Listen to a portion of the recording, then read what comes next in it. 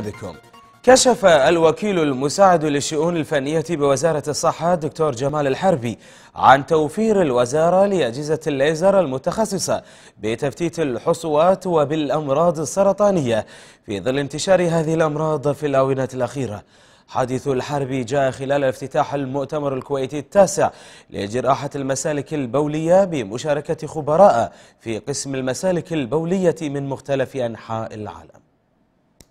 وسط مشاركة خبراء ومتخصصين في قسم المسالك البولية دشنت وزارة الصحة المؤتمر الكويتي التاسع لجراحة المسالك البولية بالتعاون مع رابطة المسالك البولية الكويتية. وخلال المؤتمر أعلن الوكيل المساعد للشؤون الفنية بوزارة الصحة دكتور جمال الحربي عن توفير الوزارة لأجهزة الروبوت والليزر الخاصة في تفتيت الحصوات وعلاج الأمراض السرطانية. لا سيما بعد انتشار هذه الأمراض في الآونة الأخيرة. والمؤتمر متخصص في أحدث الأبحاث العلمية والطرق اللي مثلا تفتيت الحصوات والأمراض السرطانية وأمراض الأخرى.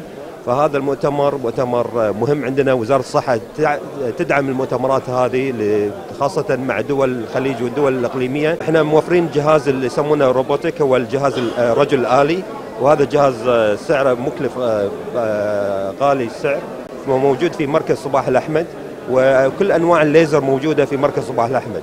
ومركز صباح الأحمد من أفضل المراكز في العالم.